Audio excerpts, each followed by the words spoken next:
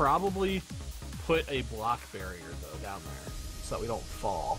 Maybe we should flatten it out some. Yeah, I just feel like we'd have more space to kind of blend down there. I don't know though. What do you think would have a better spot?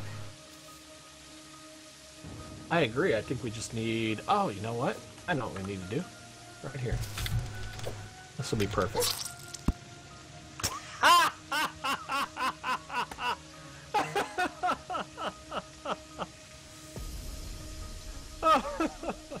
there it is. I think that's the first highlight of the night. Oh man. Oh. Three three fifty eight thirty.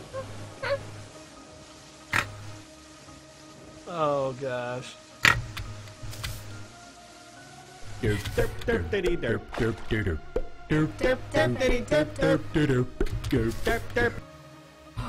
Can you write that down?